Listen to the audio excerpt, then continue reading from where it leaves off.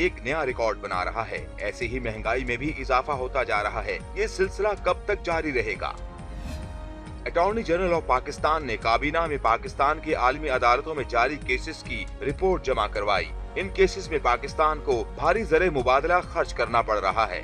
اس میں ریکوڈیک آپ کے سامنے ہے کارکے آپ کے سامنے ہے کل بوشن یادو والا حیدرآباد فنڈ کا ایشو ہے سمجھوتا ایکسپریس ہے۔ ہم ایک سو ملین ڈالر گزشتہ پانچ سال میں یہ فیس دے چکے ہیں۔ اور کیا مقامی عدالتوں کے فیصلے کے نتیجے میں پیدا ہونے والی مشکلات کا کسی کو ذمہ دار ٹھہرایا جا سکتا ہے؟ آج کل قومی عدالتوں میں بھی کچھ ایسے مقدمات چل رہے ہیں جو عوام کی دلچسپی کا مرکز بنے ہوئے ہیں۔ بات چاہے قتل کی ہو یا حتق عزت کی، دیکھنا یہ ہے کہ انصاف کے لیے عدالتیں کس حد تک جا سکتی ہیں۔ ان سب پر بات کریں گے نجم سیٹھی۔ السلام علیکم ویلکم ٹو دا شو میں ہوں اسامہ مالک اور ہمارے ساتھ موجود ہیں نجم سیٹھی صاحب۔ السلام علیکم۔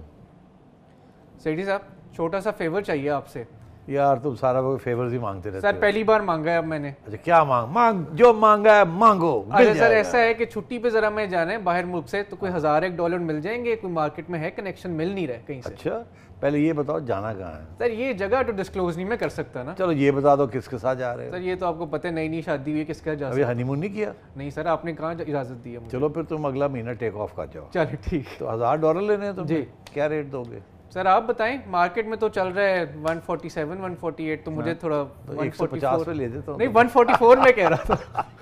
ارے سر اور دو روپے سے پیچھے تو جا کے لڑائی کرنی ہے۔ سر اب دیکھ لیں دو روپے کے اور ہزار ڈالر سے تمہارا کیا چلے گا؟ کہاں جاؤ گے؟ تم تو کراچی بھی نہیں جا سکتے۔ سر تھوڑے سے میرے پاس اپنے بھی ہیں نا اب اتنا تو نہ آپ سمجھو۔ چھپا کے رکھے ہوئے۔ جی ظاہری تو خیال رکھنا ابھی نیا قانون آ رہا ہے۔ اچھا۔ وہ کہہ رہے ہیں کہ پہلے تو دس ہزار ڈالر اجازت تھی لے جانے کی باہر اب وہ سنا ہے فارن ایکسچینج ایسوسیشن جو ہے نا یہ ہمارے یہ جو بیچتے ہیں ڈالر ڈالر منی ایکسچینج والے مل کے آئے ہیں پرائم منسٹر صاحب کو۔ اچھا۔ اور وہاں انہوں نے یہ تجویز دی ہے کہ جی وہ جو دس ہزار کی لمٹ ہے وہ بھی کم کر دیں اس کو تین ہزار ڈالر کر دیں اچھا جی۔ پر پرسن سر میرا اب ڈالر پہ سوال ہے اچھا۔ کہ ڈالر کا سر کل ہم نے سنا یہ جب آئی ایم ایف کا پورا پیکج آیا تو اس وقت ہم نے سنا کہ اب ڈالر جو ہے پکڑا نہیں جا رہا اور اوپر جائی جا رہا ہے۔ تو دو تین روپے کل صبح میں ڈالر بڑھ گیا۔ اس کے بعد پرائم منسٹر صاحب نے جیسے آپ نے ذکر کیا ہے کہ میٹنگ بلائی منی ایکسچینج والوں کی اور انہوں نے کوئی ایڈوائزز وغیرہ بھی دی کہ کس طرح اس کو کم کیا جا سکتا ہے۔ پھر سر نیوز آئی کہ کم ہو گیا دو روپے واپس اور پھر اس کے بعد آج پھر یہی نیوز چل رہی ہے کہ بڑھ گیا پھر سے اور مارکیٹ میں سر جیسے میں آپ سے ریکویسٹ کر رہا ہوں مل ہی نہیں رہا۔ تو سر اس کی کیا وجہ کم ہو رہا ہے زیادہ ہو رہا ہے اور کیا حکومت کنٹرول کر پائے گی کہ نہیں؟ دیکھیے یہ آئی ایم ایف پروگرام کا خیر مقدم ہو رہا ہے نا۔ یہی ہو رہا نا؟ ٹھیک ویلکم کر رہے ہیں۔ ہم ویلکم کر رہے ہیں۔ آئی ایم ایف نے کیا کہا تھا آپ کو؟ کہ آپ نے وہ کوئی انٹرونشن نہیں کرنی اور free exchange rate free exchange rate تو فری ایکسچینج ریٹ میں ہم نے یہاں تبصرے کیے ہیں کہ فری ایکسچینج ریٹ کا یہ مطلب ہے کہ پھر ڈیویلیویشن ہوگی۔ کیونکہ اگر اسٹیٹ بینک نے انٹرونشن نہیں کرنی اور جب مارکیٹ ڈالر زیادہ مانگ رہی ہے اور اتنے ڈالرز مارکیٹ میں ہے نہیں تو قیمت بڑھے گی نا ڈالر کی۔ پہلے کیا ہوتا تھا کہ اسٹیٹ بینک انٹرونشن کرتا تھا؟ جی۔ وہ اپنے فوریکس ریزروز میں سے ڈالرز مارکیٹ میں بیچ دیتا تھا۔ جب سستے بیچ دیتا تھا مارکیٹ کے سپلائی اور ڈیمانڈ ایکول ہو جاتے تھے۔ اب یہ ہے کہ سب اسٹیٹ بینک کے اندر آئی ایم ایف کا بندہ آ گیا ہے۔ اسے یہ کہا گیا کہ آپ نے کوئی خرید و فروخت نہیں کرنی ڈالرز کی۔ خرید سکتے ہیں بیچنے نہیں۔ اچھا بیچنے نہیں۔ خریدنے اس وقت جب آپ کے فورس ریزروز کم ہو جائیں اور آپ کو فورن پیمنٹس کرنی ہوں تو پھر مارکیٹ سے خرید دیا کریں۔ مگر بیچنے نہیں ہیں بیکاز آپ کے پاس تو پہلے ہی تھوڑے ہیں۔ تو آپ اسامہ ملک کو پیسے زیادہ دینے دیں اللہ اللہ خیر صلی آپ کی جیب سے جائیں گے اور ساری چیزیں مہنگی ہو رہی ہیں۔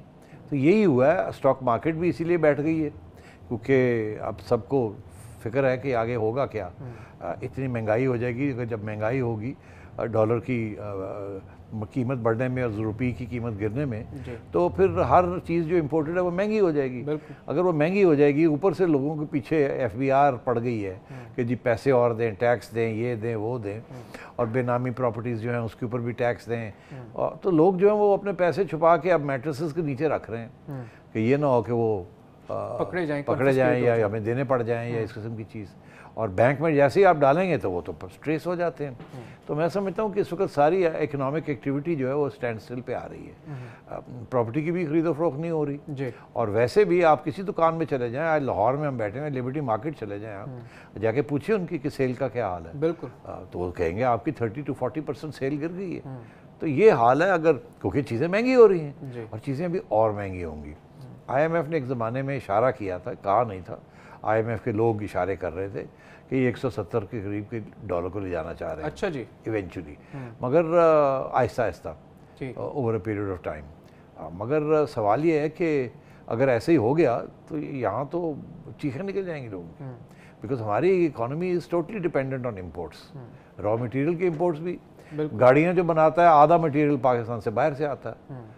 بالکل تبھی گاڑیوں کے پرائزز بھی اوپر جا رہے سے سارا را مٹیریل آپ کا سارا تیل آپ کا سارا کچھ باہر سے آتا ہے۔ جو چار چیزیں آپ اس ملک میں خود بھی بناتے ہیں مینوفیکچر کرتے ہیں اس کا را مٹیریل بھی باہر سے آتا جی۔ ہے تو یہ انڈیا نہیں ہے جہاں را مٹیریل آپ خود پروڈیوس کر رہے ہیں۔ وہ ایک اور ڈسکشن ہے کہ ہم اس سٹیج پہ کیسے پہنچے۔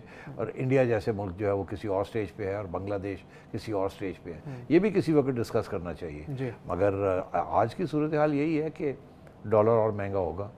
اب شارٹ ٹرم میں اس وقت خان صاحب جو ہمارے پرائم منسٹر ہیں اگر انہیں اس بات کا احساس ہو گیا کہ یہ تو راتوں رات یہ ہو گیا ہے تو آگے کیا ہوگا؟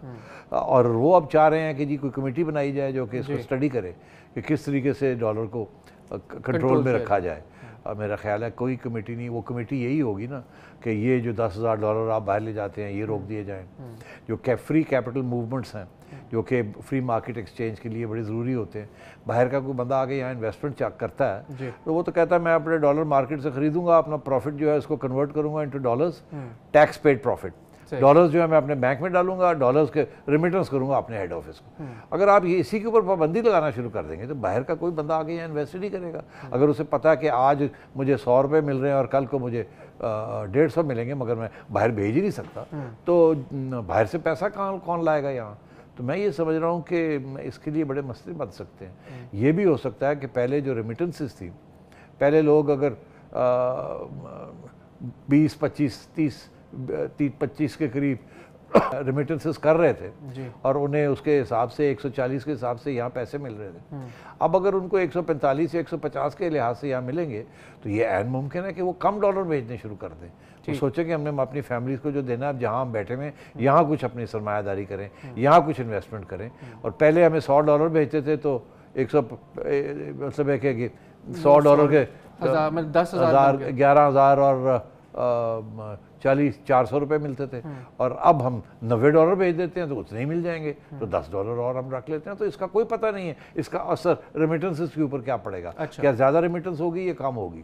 ایک چیز تو بڑی واضح ہے۔ کہ اس کا یہ ڈیویلیویشن اس لیے کروائی گئی ہے کہ وہ چاہتے ہیں کہ آپ کی امپورٹس مہنگی ہوں اور آپ کے ایکسپورٹس جو ہے وہ سستے ہو جائیں باہر لوگوں کے لیے اور آپ کے ایکسپورٹس بڑھیں بیکاز آپ کی امپورٹس میں اور آپ کے ایکسپورٹ سے بہت بڑا گیپ ہے۔ ڈیفیسٹ جو ڈیفیسٹ ہے کوئی بیس ایک ارب ڈالر کا۔ تو وہ یہ کہہ رہے ہیں کہ اس کو کم کرنے کے لیے آپ کی ایکسپورٹس جو ہیں وہ اس وقت بیس بیس بائیس ارب کے قریب ہیں۔ یہ زیادہ ہونی چاہیے۔ یہ کم از کم امپورٹ جتنی ہونی چاہیے۔ مگر اس کے لیے انہوں نے کہا جی کہ آپ کے ایکسپورٹر جو ہے اس کا فائدہ اٹھائیں۔ مگر آج تک تو ہم نے دیکھا ہے کہ ہمارے ایکسپورٹر سے خاص فائدہ نہیں اٹھایا۔ ہماری کرنسی جو ہے دو تین سال سے ڈیویلیو ہو رہی ہے آہستہ آہستہ۔ اور اس سال پورے پچھلے بارہ مہینے میں کوئی تیس فیصد ڈیویلیو ہو چکی ہے۔ مگر ہمارے ایکسپورٹس تیس فیصد کیا پانچ فیصد دس فیصد بھی نہیں بڑھے۔ تو اس لیے یہ بڑا ایک مسئلہ بننے جا رہا ہے۔ امپورٹس مہنگے ہو جائیں گے ایکسپورٹس جو ہیں وہ بڑھیں گی نہیں۔ اور اگر امپورٹس لوگوں نے امیر لوگوں نے اپنی اور را مٹیریل تو آپ کو چاہیے وہ تو لینا ہی لینا ہے۔ ہر حال میں۔ وہ تو ہر حال میں لینا ہے۔ اور اگر امپورٹس کم نہ ہوئیں اور ایکسپورٹس بڑھے نہ تو پھر تو بہت ہی پرابلمس بن جائیں گے۔ تو یہ اب دیکھنا ہے حکومت دیکھے اس چیز کو کہ کیسے اس کو حل کرنا ہے۔ اچھا سر اب ذرا تھوڑے سے بین الاقوامی کیسز کی بات کر لیتے ہیں۔ پرسوں اٹارنی جنرل صاحب جو ہمارے ہیں انور منصور صاحب انہوں نے ایک بریفنگ دی۔ وفاقی کابینہ کو، جس میں انہوں نے بتایا کہ کون کون سے کیسز ہیں جو کہ عالمی عدالتوں میں چل رہے ہیں اور آربیٹریشن میں چل رہے ہیں اور اس میں پاکستان کے کتنے پیسے لگ چکے ہیں اور جس میں انہوں نے بتایا کہ لگ بھگ اب تک ہم سو ملین ڈالر ان کیسز پہ خرچ کر چکے ہیں۔ اس کے بعد سر فردوس آپا نے بھی جو ہماری مشیر اطلاعات ہیں وزیر اعظم صاحب کی، انہوں نے ایک بریفنگ دی۔ وہ پہلے میں آپ کو سنواتا ہوں، اس کے بعد اس پہ سوال کرتا ہوں۔ دو ہزار سولہ میں جو ڈسپیوٹ تھے انٹرنیشنل کورٹس کے اندر وہ چھ تھے۔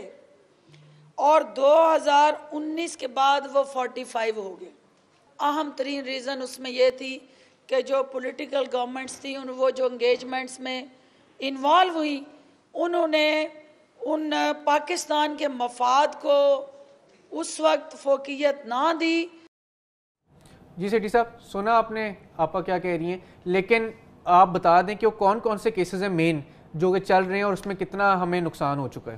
دیکھیے یہ غلط بیانی کر رہی ہیں سیاسی بات کر رہی ہیں۔ ایسے نہیں ہے کہ یہ پچھلی حکومت یا اس سے پچھلی حکومت کی کوئی غلطیاں ہیں اس میں۔ خود جانتی ہیں مگر پروپاگنڈا کر رہی ہیں۔ اچھا۔ عرض یہ ہے کہ سب سے زیادہ اس وقت جو خطرناک کیس چل کیس چل رہے ہیں وہ دو تین ہیں۔ باقی تو چھوٹے چھوٹے چل رہے ہیں۔ سب سے زیادہ خطرناک ہے ریکو دیکھ والا کیس۔ اچھا جی۔ یہ ٹیٹلین کاپر کمپنی یہ ایک جوائنٹ وینچر ہے چلی اور کینیڈا کا۔ اچھا جی۔ اور ان کے آسٹریلیا میں بھی ان کے انٹرسٹ ہیں مائننگ انٹرسٹ ہیں۔ ٹھیک انہوں نے بلوچستان گورنمنٹ کے ساتھ ایک اگریمنٹ کی تھی جس کے تحت لیسنگ رائٹس ملی تھی انہیں۔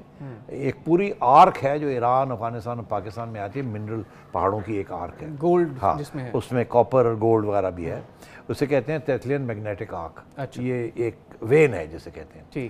آ، وہ اس کی ایکسپلوریشن کے لیے۔ وہ ظاہر ہے بلوچستان گورنمنٹ میں اس سے فیڈرل گورنمنٹ بھی انوالو تھی مگر بیسکلی بلوچستان گورنمنٹ تھی because mineral rights local province کے ہوتے ہیں۔ اچھا ہوا یہ کہ وہ سب کچھ ہو گیا انہوں نے اپنا آگے یہاں کام شام شروع کر دیا۔ وہ کسی سٹیج پہ افتخار محمد چودھری صاحب نے جو ہمارے ایکس اس وقت کے چیف جسٹس صاحب تھے انہوں نے اس کیس کو کھول لیا۔ اور انہوں نے کہہ دیا کہ یہ شروع سے لے کے آخر تک ایب انیشو وائڈ ہے یہ۔ یہ جو ساری اگریمنٹس ہوئی ہیں سب کچھ جو معاہدے ہوئے ہیں یہ سارا غلط ہے جھوٹ ہے۔ مگر اور انہوں نے اس کو فارغ کر دیا۔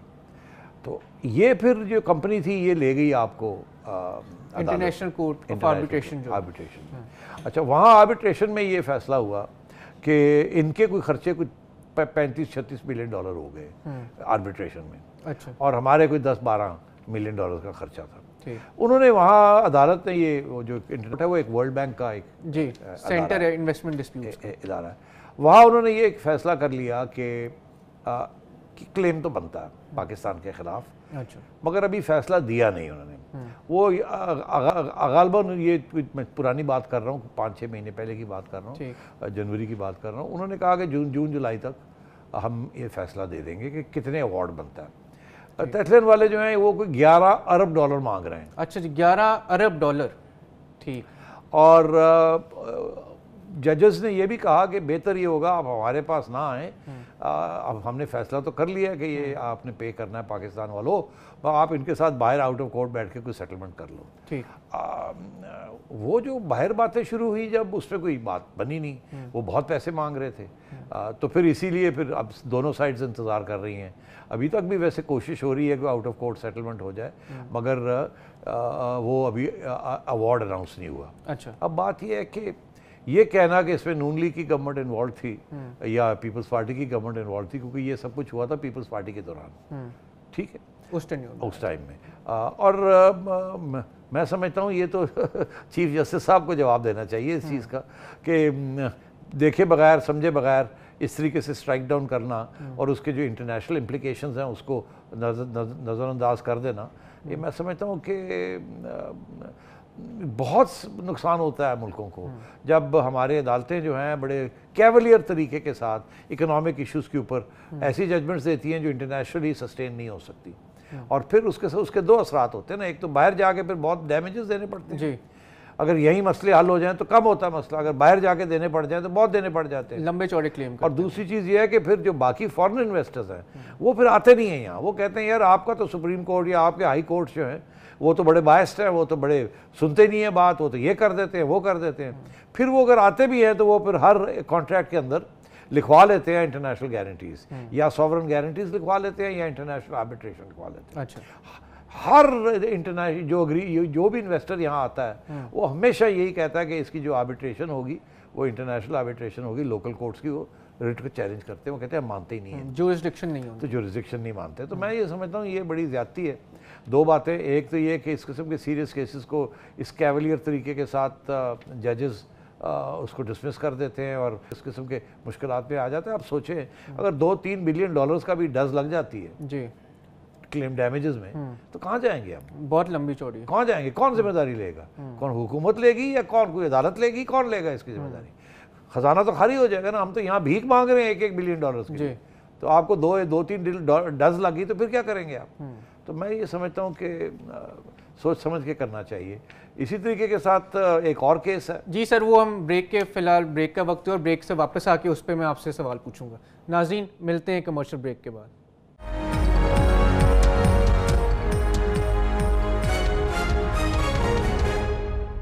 ویلکم بیک سیڈی صاحب آپ وہ بتا رہے تھے وہ کون سے کیسز تھے انٹرنیشنل عدالتوں میں؟ تو سر اس اسی پہ بات جاری رکھیں اور کون سا ایسا کیس ہے؟ دیکھیے ایک کیس تھا کارکے کا۔ ایک ٹرکش کمپنی ہے۔ جی۔ جبکہ یہ رینٹل پاور پروجیکٹس ڈسکس ہو رہے تھے۔ تو اس وقت پیپلز پارٹی کی حکومت تھی۔ جی۔ اور اس وقت ایک شپ کے ساتھ ایک معاہدہ کیا معاہدہ کیا گیا۔ جو کہ پار وہ اس کے اندر جنریشن کیپیسٹی جنریشن کیپیسٹی ہے۔ تو وہ کراچی کے باہر آ کے ہاربر میں آ کے کھڑی ہو گئی تھی۔ اور اس کے ساتھ یہ معاہدہ تھا کہ وہ اتنا بجلی بنا کے دے گی اور اس ریٹ پہ حکومت خریدے گی اس سے۔ اور وہ اتنی بجلی بنا کے دے گی۔ غالباً وہ آ گئی اور وہ اگریمنٹ سائن ہو گیا سارا کچھ ہو گیا۔ اور اس کے بعد کیا ہوا کہ کیس کھل گیا۔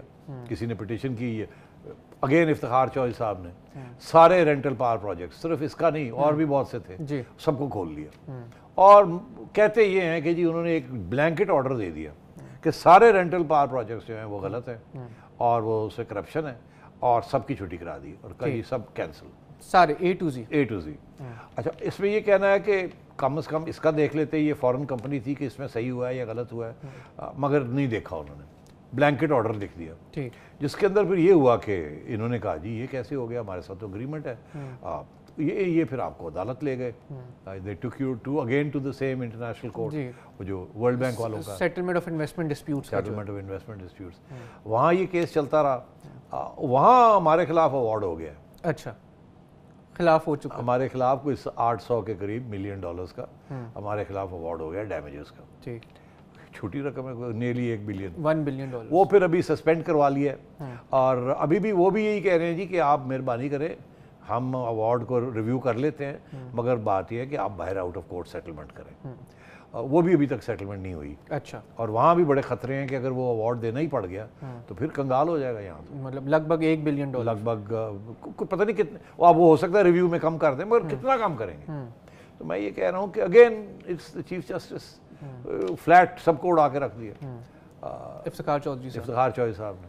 آج کوئی افتخار چودھری صاحب کو پوچھنے والا نہیں ہے کہ یار ایسے نہیں کرنا چاہیے۔ اسپیشلی وہ کیسز جہاں international foreign companies are involved وہ تو ہمیشہ تو ڈراپ آف اے ہیٹ وہ آپ کو لے جائیں گی باہر۔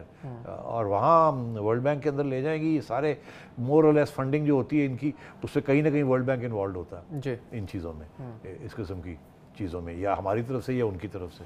So this is a disaster when courts get involved in financial matters جن کی اتنی امپلیکیشنز ہوتی ہیں تو بڑا سوچ سمجھ کے سب کچھ کرنا چاہیے سر اسی طرح کا ایک اور کیس فردوس صاحبہ نے اس کا ذکر کیا حیدرآباد فنڈ کیس سر اس کے بارے میں بتا دیں وہ کون سا کیس ہے اور اس کے پیچھے ہمیں کیا دینا پڑ رہا ہے یار وہ بہت انٹرسٹنگ کیس ہے اور اس میں کوئی شک نہیں ہے کہ مختلف حکومتیں جو ہیں نا دیو بین انوالوڈ ان اٹ اچھا۔ یہ بڑا پرانا کیس ہے 1948 کا۔ اچھا 19 انڈیپینڈنس کے بعد کا۔ ہاں ہوا یہ تھا کہ نظام آف حیدرآباد میر عثمان علی خان صاحب تھے۔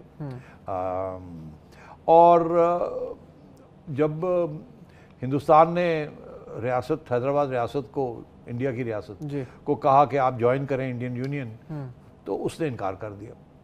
تو ہندوستان نہرو نے پھر فوجیں بھیج دی اس کو قبضہ کرنے قبضہ کرنے کے لیے۔ جیسے کشمیر میں نہرو نے کیا تھا۔ جی۔ تو نہرو نے جب وہاں فوجیں بھیجی تو وہ نظام صاحب نے اپنے فارن منسٹر کو ان کو بھیج دیا یونائٹڈ نیشنز کہ جا کے آپ رونا دھونا کریں وہاں۔ وہاں سے وہ لنڈن آئے۔ By the time he got to London India نے سیز کر لیا تھا۔ اچھا۔ اب ان کے پاس ایک ملین پاؤنڈ تھے۔ جو کہ انہوں نے اپنے خرچے ورچے کے لیے اس قسم کی چیزوں کے لیے کوئی رکھے ہوئے تھے۔ انہوں نے سوچا میں کیا کروں؟ وہ گئے ہمارے ہائی کمشنر صاحب کے پاس اچھا۔ رحمت اللہ صاحب تھے۔ Pakistani high commissioner. وہاں گئے انہوں نے کہا جی یہ میرے پاس ایک ملین ڈالر ہے۔ ایک ملین پاؤنڈ ایک ملین پاؤنڈ ہے یہ مہربانی کر کے یہ آپ اپنے بینک اکاؤنٹ میں حیدرآباد کے تو بینکس بھی سارے انڈین گورنمنٹ کے کنٹرول میں آ گئے۔ اور یہ آپ رکھ لیں۔ تو جب نظام کو ضرورت ہوگی تو ہم لے لیں گے آپ سے۔ صحیح۔ تو انہوں نے اپنے اکاؤنٹ میں ہائی کمیشن کے اکاؤنٹ میں ڈال دیا۔ اب ہائی کمیشن کا اکاؤنٹ ساورن اکاؤنٹ ہوتا ہے۔ جیسے ساورن ٹیریٹری ہوتی ہے نا ہائی کمیشن کی۔ اسی طریقے کے اس کے اکاؤنٹ کے ساتھ آپ کھیل نہیں سکتے۔ انہوں نے کہا یہاں پکا پروٹیکٹڈ رہے گا۔ اس نے ڈال دیا وہاں۔ وہ تین چار دن کے بعد نظام صاحب آ گئے۔ انہوں نے کہا جی وہ میرے پیسے پڑے ہوئے یہاں۔ تو وہ دے دے۔ مگر اس وقت ہندوستان کی حکومت کو پڑا پتہ چلا۔ انہوں نے کہا نہیں جی یہ تو اب حیدرآباد کے پیسے ہیں۔ ریاست کے پیسے ہیں۔ یہ نظام کے ذاتی پیسے تو ہے ہی نہیں۔ یہ تو ہمیں ملنے چاہیے۔ وہ جھگڑا ہے اور آج کا دن وہ جھگڑا چل رہا ہے۔ وہ ایک ملین پاؤنڈ پینتیس ملین پاؤنڈ بن چکا ہے۔ اچھا۔ سود پڑ پڑ کے۔ ٹھیک اور اس کے اوپر اب تین کلیمنٹس ہیں۔ پہلے دو کلیمنٹس تھے نظام یا اس کے ڈسینڈنٹس ان کے بیٹے۔ اور ان کے وہ سنا ہے ایک سو بیس ڈسینڈنٹس تھے۔ اچھا۔ جس میں سے ابھی ایک بیٹا اور دو بیٹیاں رہ گئی ہیں۔ نظام بھی فارغ ہو گئے ہیں وہ بھی بیچارے ستر۔ سال تو سر ہو ہاں، گئے۔ تو مگر اس وقت بہت سے کلیمنٹس Claimants تھے۔ ہاں تو اسی لیے پاکستان نے کہا یار پتہ نہیں کون کلیمنٹ ہے کس کو دینا ہے کیا نہیں. اگر اسی وقت پاکستان یہ دے دیتا تو مسئلہ حل ہو جاتا۔ یا نظام کے ساتھ کوئی مک مکا کر لیتے۔ پیسہ تو نظام کا تھا یا انڈین یا ریاست کا تھا۔ اب ہوا اب مگر پاکستان کا کلیم یہ ہے کہ under the U N agreement Hyderabad وہ suppose to come to Pakistan Muslim majority state تھی۔ تو ہمارا بھی ایک کلیم بنتا تھا کہ یار یہ ہندوستان نے جیسے کشمیر میں زیادتی کی ہے یہاں بھی۔ زیادتی کی ہے۔ یہ تو ہمارے پاس آنا تھا۔ تو یہ پیسہ ہمارا ہے۔ ٹھیک۔ ٹھیک؟ تو یہ ایشو بن گیا۔ وہ ایشو چلتا رہا چلتا رہا چلتا رہا۔ اور ایک سٹیج آئے وہ چلا گیا ہاؤس آف لارڈز میں۔ اچھا جی۔ ہاؤس آف لارڈز میں چلا گیا۔ وہاں پھر ہاؤس آف لارڈز نے یہ فیصلہ کیا کہ پاکستان کو کہا کہ یہ آپ پیسے جو ہے نا یہ واپس کر دیں۔ تو اور اس وقت انڈیا کا ایشو نہیں تھا۔ اچھا۔ پاکستان نے کہا نہیں کرتے۔ اچھا۔ ٹھیک۔ انہوں نے کہا دیکھیں نہیں کرتے تو پھر آپ کو ہماری ڈیسیجن کو چیلنج کرنا پڑے گا۔ عدالت میں اس لنڈن کے ہائی کورٹ میں۔ ہم نے کام کر لیں گے۔ ٹھیک۔ ہم نے چیلنج کر دی۔ جیسے ہی چیلنج کی تو ہاؤس آف لارڈ سے کہا اگر آپ چیلنج کرتے ہیں تو اس کا یہ مطلب ہے آپ اپنی ساورن جو رائٹ ہے اس اکاؤنٹ کے اوپر وہ کھو بیٹھیں گے آپ۔ اچھا۔ اپنی ساورن رائٹس کھو بیٹھیں گے۔ اب آپ کو جو بھی فیصلہ آئے گا وہ پورا ابائڈ بائی کرنا پڑے گا اس ساورن کوئی گارنٹی نہیں رہی آپ۔ ہم نے کہا ٹھیک ہے مانتے ہیں۔ ہمیں دراصل اب جو لوگ کہتے ہیں کہتے ہیں ہمیں یہ کبھی نہیں کرنا چاہیے تھا۔ اچھا۔ ہمیں نیگوسیشن کرنی چاہیے تھی یا اس کو اور فورم پہ ٹرائی کرنا چاہیے تھا مگر اپنی رائٹ گیو اپ نہیں کرنی چاہیے تھی۔ ہم نے بہت جلدی اپنی رائٹ گیو اپ کر دی۔ ٹھیک۔ تو وہ اب اب انڈیا بھی اس میں کود بیٹھا ہے۔ تو اب یہ سچویشن ہے کہ وہ پینتیس ملین پاؤنڈ کے اوپر لڑائی جھگڑا ہو رہا ہے۔ ہم نے ایٹ سم سٹیج اس وقت ٹونی بلیئر پرائم منسٹر تھے انڈیا یو کے۔ کے۔ ہم نے ان کی بیوی جو ہے ایلیا شیری بلیئر وہ ایک وکیل ہے۔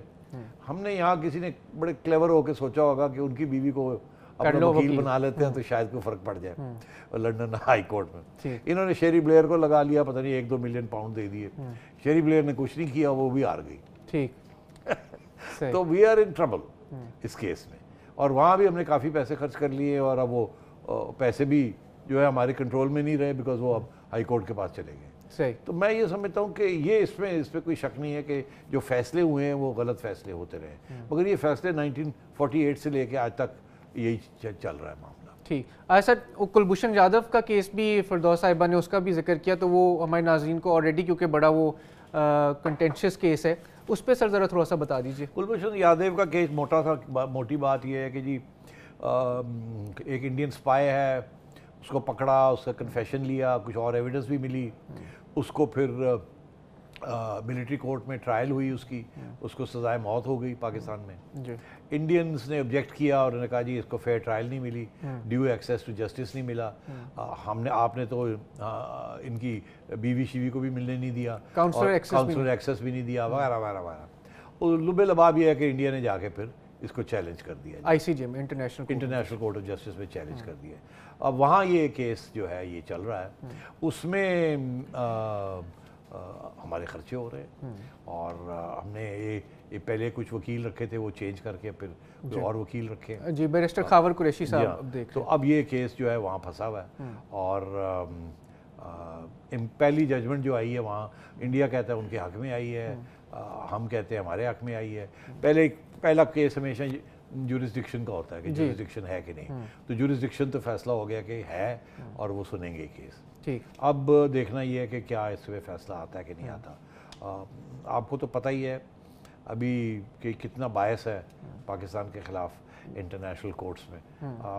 امکان یہی ہے کہ وہ آپ کے خلاف فیصلہ آئے گا۔ اچھا جی۔ اور پھر یہ جو سارے وکیلوں کے خرچے ہیں یہ آپ کو دینے پڑیں گے اور on top of that India کے وکیلوں کے خرچے بھی دینے پڑیں گے۔ وہ بھی کاسٹ وہ بھی کاسٹ دینے پڑتے ہیں۔ اور اس میں کیا فیصلہ آتا ہے؟ You have to wait see یہ اپیل کرتے ہیں نہیں کرتے؟ کوئی اور اس پہ اپیل کی کیا گنجائش ہے کیا نہیں ہے؟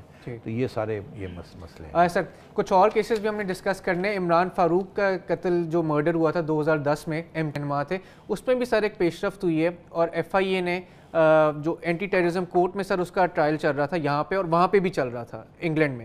تو سر، یہاں پہ اسلام آباد ہائی کورٹ نے اے ٹی سی کورٹ کو اٹھارہ اکتوبر تک کی ڈیٹ دی تھی، دو ہزار اٹھارہ کی، کہ آپ نے ٹرائل کنکلوڈ کرنا ہے۔ لیکن اب ایک بار پھر ایف آئی اے کے جو پروسیکیوٹر ہیں، انہوں نے ٹائم مانگ لیا، انہوں نے یہ اس بات پہ ٹائم مانگا کہ اب یو کے والے جو اتھارٹیز ہیں، وہ فائنلی ہمیں کوئی ایگریمنٹ دے رہے ہیں ہمیں کوئی ایویڈنس دے رہے ہیں، جس پہ ہم آگے کیس لے کے چل سکتے ہیں۔ تو سر، اس پہ ہم بتا دیں۔ اس پہ یار بڑا انٹرسٹنگ ہے یہ کیس عمران فاروق کے مرڈر کے بعد جب انویسٹیگیشن شروع ہوئی یو کے میں تو اس وقت یو کے اتھارٹیز نے یہ ڈٹرمن کیا کہ دو صاحب کو آئیڈینٹیفائی کیا ایز پوٹینشیل اکیوزڈ وہ پھر ان کو جب ڈھونڈنے لگے تو پتہ چلا وہ چھوڑ گئے۔ ہیں وہ چلے گئے تھے سری لنکا۔ اچھا۔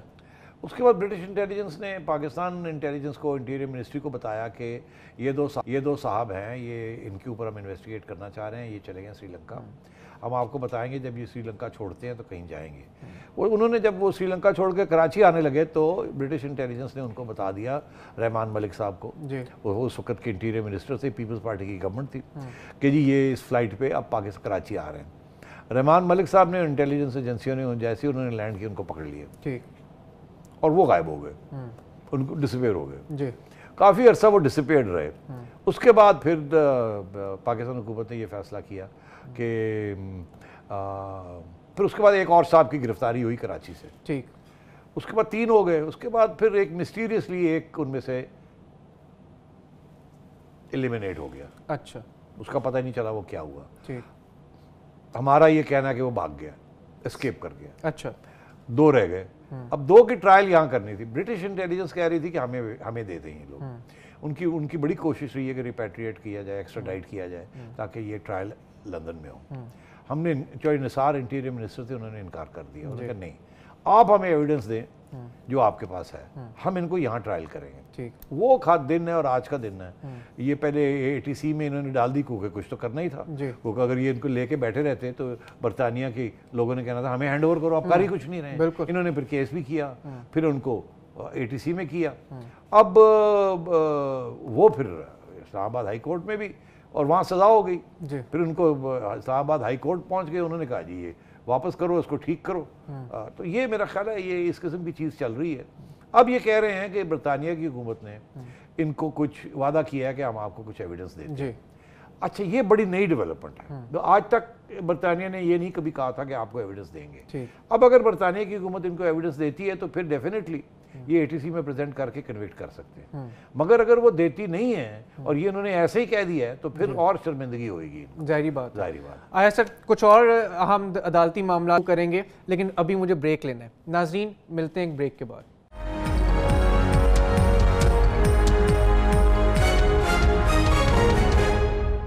ویلکم بیک سیڈی صاحب میں نے سوچا کہ آپ کو ایک ذرا گوگلی کراؤں میں۔ اچھا۔ ایک کیس ہے بڑا ہائی پروفائل ہمارا اور آج کل میڈیا میں بڑا وہ رپورٹ ہو رہا ہے۔ میشا شفیع اور علی ظفر صاحب کا کیس خیال رکھنا یہ بڑا سینسٹیو کیس ہے۔ جی جی سر میں فیکٹس پہ رہ رہا ہوں میں کوئی کسی کی سائڈ یا وہ اس طرح کی بات نہیں ہم کر رہے۔ ارے سر میں بتاتا چلوں کہ میشا شفیع صاحبہ نے الزام لگایا تھا ہراسا کرنے کا علی ظفر صاحب پہ۔ اور پھر انہوں نے ایک سیکشل ہراسمنٹ کا کلیم بھی فائل کیا تھا وومن امبرٹس پرسن کے پاس جو کہ ڈکلائن ہو گیا۔ اور ٹیکنیکل گراؤنڈ ٹیکنیکل گراؤنڈ سننے میں یہی آ رہا ہے۔ اس کے بعد گورنر صاحب کے پاس اپیل کی جو لا کے انڈر ہوتی ہے، وہ بھی ریجیکٹ ہوگی اور اب ان کا کیس تو ہائی کورٹ میں پینڈنگ ہے۔ اس کے ساتھ ساتھ جب الزام لگا علی ظفر صاحب پہ، انہوں نے ڈیفیمیشن کا سوٹ فائل کر دیا اور وہ سر ہوتے ہوتے ہوتے اب معاملہ سپریم کورٹ تک پہنچ گیا اور میشا شفیع صاحبہ نے اپنے جو وکیل ہیں بیرسٹر حارث عظمت، ان کے تھرو سپریم کورٹ سے رجوع کیا اور ان کا کہنا یہ تھا کہ جو جیمنگ سیشن جس میں الزام لگایا گیا کہ اس اس وقت ہراساں کیا گیا، اس کے جو وٹنسز ہیں، وہ علی ظفر صاحب کے بھی اور میشا شاہ کے بھی دونوں کو دونوں کو ایک ساتھ ایک ہی دن ایگزامن کیا جائے اور پھر اس پہ کراس ایگزامینیشن کی اجازت دی جائے۔ تو سر، یہ تو ایک ڈیفیمیشن لاء میں ایک ڈیولپمنٹ اور ایک پریسیڈنٹ کی اس کی صورتحال نہیں ہے؟ ہاں اچھا آپ نے اس کو let stick to the law G. We don't merits of both cases کی طرف ہم نہیں جاتے۔ وہ عدالتیں فیصلہ کریں جی۔ گی یہ سب جوڈس ہے۔ مگر بات یہ ہے کہ یہ بہت بڑی ڈیولپمنٹ ہے۔ بیکاز جو ڈیفیمیشن لا ہے نا اس میں یہی عام طور پہ یہی ہوتا ہے کہ وٹنسز کو ایک ایک کر کے ایگزامن کیا جاتا ہے۔ جی۔ ایک ایک کر کے کراس ایگزامن کیا جاتا ہے۔ دونوں سائڈس کے۔ جی۔ اور یہ کافی وقت لگ جاتا ہے اس کے اندر۔ وٹنسز کو آتا ہے کوئی نہیں آتا۔ لسٹ آپ پہلے لمبی چوڑی دے دیتے ہیں دوسری سائڈ بھی دے دیتی ہے۔ ڈیٹیں طے ہو جاتی ہیں پھر کوئی آتا ہے کوئی نہیں آتا۔ کبھی آپ کا وکیل نہیں آیا کبھی میرا وکیل نہیں آیا کبھی جس وٹنس نے آنا ہے وہ نہیں آیا۔ اور یہ good goes on and on and on and on اور پھر وہ کبھی کبھی کمیشنیں بٹھانی پڑ جاتی ہیں کہ جی کمیشن جو ہے وہ فلانے گھر کے جا کے وہاں وٹنس کو مل لے بیکاز اگر وٹنس بڑا امپورٹنٹ ہے اور وہ نہیں آ سکتا۔ تو اور پھر تو یہ پھر وہاں کراس ایگزامینیشن ہو ایگزامینیشن بھی ہو چلتا رہتا ہے۔ چلتا رہتا ہے۔ عدالت کا جو قانون ہے ڈیفیمیشن کا دو ہزار دو میں یہ۔ جی اس میں یہ لکھا ہوا ہے بڑے واضح طور پہ کہ ڈیفیمیشن کیسز جو ہیں وہ لوور کورٹ جو ہے وہ نائنٹی ڈیز کے اندر اندر اس کو ختم کرے جی۔ اس کے بعد اپیل ہوگی ہائی کورٹ میں۔ اور یہ یہ یہ ہدایت یہ کی گئی ہے ہدایت نہیں آرڈر یہ کیا گیا ہے شیل کا لفظ استعمال کیا گیا کہ lower court shall finish the case in ninety days.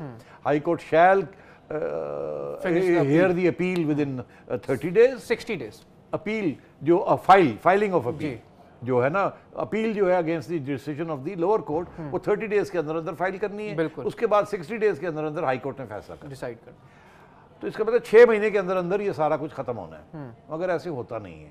اور یہ چیزیں چلتی رہتی ہیں اور کوئی اس پہ کنکلوژنز نہیں ہوتی۔ کبھی کبھی دونوں سائڈز انٹرسٹ لوز کر جاتی ہیں کبھی کبھی ایک سائڈ کا انٹرسٹ ہوتا ہے کہ اس کو ڈیلے کرتے جائیں ڈیلے کرتے جائیں ڈیلے کرتے جائیں۔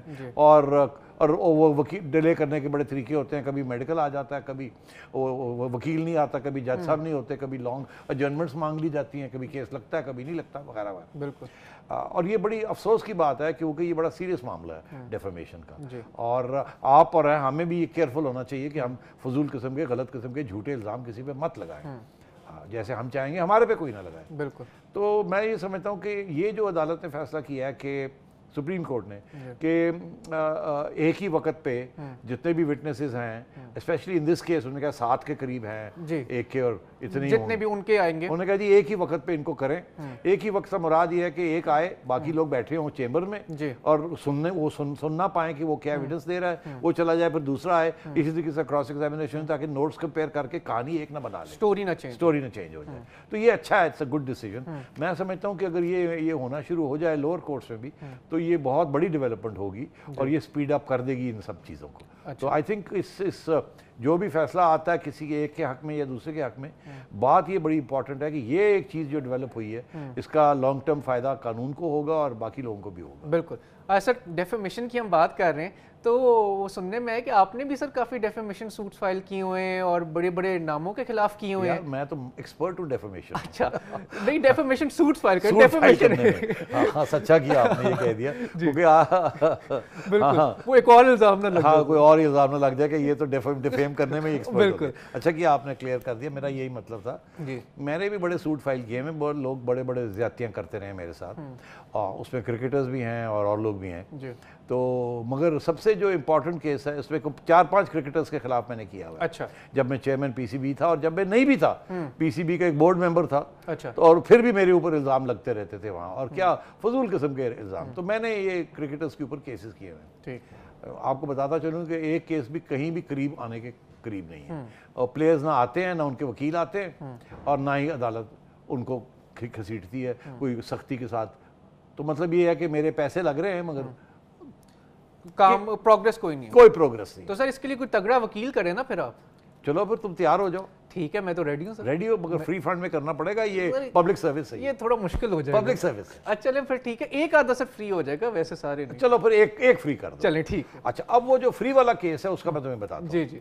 فری والا کیس میں نے پرائم منسٹر عمران خان صاحب کے اوپر کیا ہے۔ اچھا۔ اب وہ تم ہینڈل کرو۔ ٹھیک ہے۔ وہ فری والا آپ نے مجھے سب سے ہیوی والا وہ وہ تو آپ پیسے آپ فری کرنا ہے پرائم منسٹر کے خلاف تو فری ہونا چاہیے تو اب بات یہ ہے کہ وہ عمران خان صاحب نے جب میرے پہ پینتیس پنچر کا الزام لگایا تھا تو میں نے کیس کر دیا تھا ان کے اوپر۔ اور ایک اور صحافی ہے شاید مسعود صاحب ان کے اوپر بھی میں نے کر دیا تھا۔ اچھا۔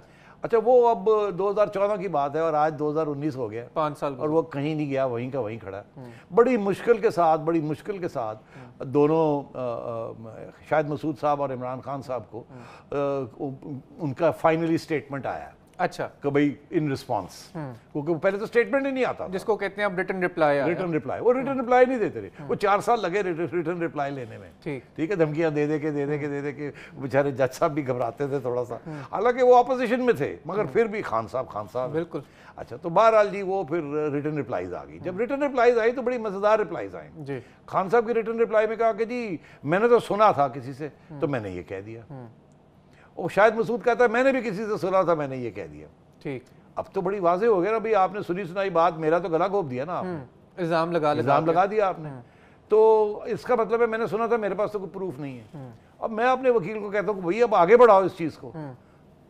اور میں تو صرف مانگتا کیا ہوں؟ میں تو یہ چاہتا ہوں کہ شاید مسعود صاحب کہہ دیں کہ سوری جی میرے سے غلطی ہوگی۔ میں نے سنا تھا میں نے چیک نہیں کیا۔ اتنا ہی کہہ دیں۔ ویریفائی نہیں کیا ہاں، تو اس کہہ دیں ایم سوری میں ختم کر دوں گا۔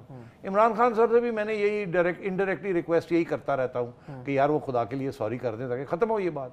اب وہ پبلک میں تو کہہ چکے ہیں نا کہ سیاسی بیان سیاسی بیان تھا۔ اب اس کے پیچھے تو جا نہیں سکتے۔ اور اس وقت عارف الوی صاحب نے بھی معافی مانگ لی تھی آن ٹویٹر میرے سے۔ انہوں نے کہا تھا آئی ایم سوری کہ ہم نے انہوں نے بھی الزام لگا دیا۔ President صاحب نے جو آپ پریزیڈنٹ اس وقت میں۔ تو یار چھوٹی سی بات تھی۔ مگر اب بات یہ ہے کہ ہمت نہیں کسی کی کہ خان صاحب کو وہ اپروچ کریں۔ اور خان صاحب کی اپروچ بھی یہی ہے کہ کون ہوتے ہیں آپ پوچھنے والے۔ تو اب آپ کے حوالے میں کرنے لگا ہوں کل فائل میں آپ کو دوں گا۔ ٹھیک ہے جی۔ اور میں یہی چاہوں گا کہ اب آپ دلیری کے ساتھ کھڑے ہوں میرے ساتھ۔ اور اس کیس کو اپنی نوعیت پہ لے جانا چاہیے۔ آل آئی وانٹ از سوری جو کہ مجھے پورا یقین ہے کہ خان صاحب نہیں کریں گے۔ میں تو کیس چلے گا اور پھر کیس اپنی نوعیت پہ پہنچے۔ پہلے وہ ادھر سے فیصلہ ہوگا پھر ہائی کورٹ جائیں گے پھر سپریم کورٹ جائیں گے۔ میں جاؤں گا آل دا وے ٹھیک۔ آل دا وے صحیح ہے۔ اگر سوری نہیں کریں گے تو I go all the way sir supreme court کا لائسنس نہیں ہے میرے پاس نہیں؟ ٹائم لگے گا۔ تو ہائی کورٹ تک اور اگر تو نے ہرا دیا مجھے۔